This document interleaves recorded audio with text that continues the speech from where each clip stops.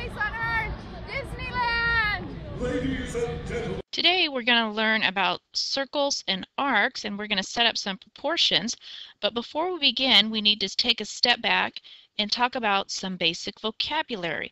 Remember in 10.3 we established in a polygon if we were to take a center point and measure this angle here that it is called the central angle. Well guess what? In a circle it is called the exact same thing and we would write it like this. The measure of angle APB, so we would use these three letters here, and we could go in the reverse order as well, equals 75 degrees. Now something new is that this from here to here is called an arc and it always has the same degree amount as the central angle. So the arc that is straight across from the central angle has the same degree. We can measure this arc in degrees, and remember the whole circle is 360 degrees. We're just taking a portion of it and um, labeling it in degrees, but we can also measure this arc in inches and centimeters. We can use it in a measurable distance. So two different ways we can express, express it in degrees or actual measurements. So this arc we would say the measure of arc, and then we always put the arc symbol above the two letters, is 75 degrees.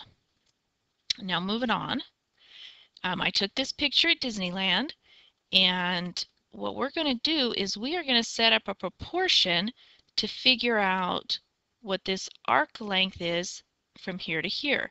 So I just um, randomly picked a degree measurement. I think I'm pretty close that this degree angle here is about 45 degrees. But before we set up a proportion, we need to review the formula for the circumference of a circle is 2 pi r or diameter times pi.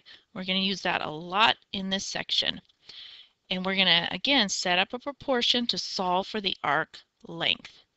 Now this, I want you to write down because we're going to use it over and over and over again. And what we're going to do is set this proportion up and just fill in the blanks and cross multiply. So on this side, I'm going to express everything in degrees. I'm going to put the central angle over 360 degrees. It is always going to be over 360 degrees because we know that the whole circle is always 360 degrees. But this I may not necessarily know. In the central angle is a portion of the circle, the 360 degrees is the whole circle. Same idea over here.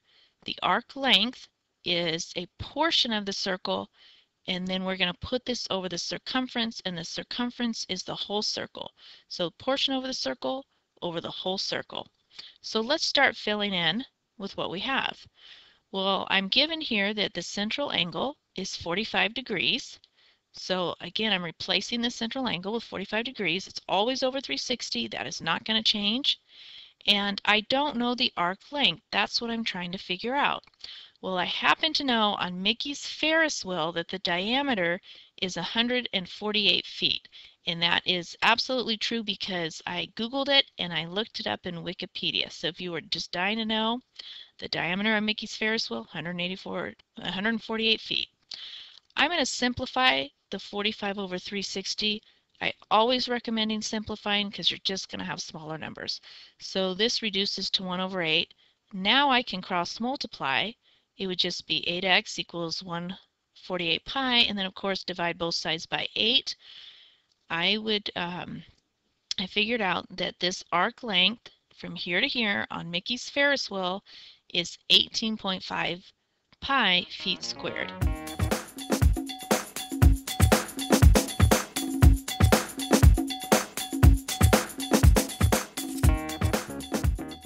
Let's do another one, and this time we're going to use the same proportion, except we're going to solve for something that's a little different.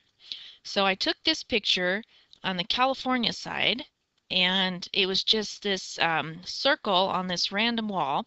So I thought, hey, perfect, let's use this in a problem. Well, um, again, we have the exact same proportion here, but this time I don't know the central angle.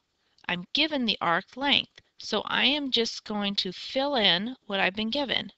Well, I don't know the central angle. That's what I'm trying to solve for this time. And it's over 360. This time I'm given the arc length.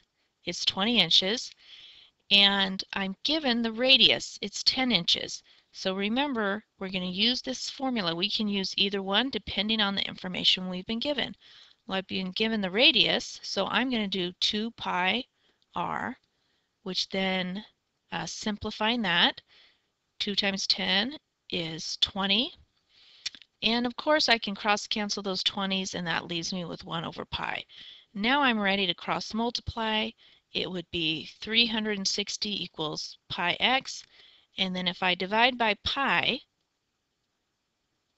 I would end up with approximately 114.59 degrees. Um, anyway, I'll see you guys in class. Hopefully this made sense.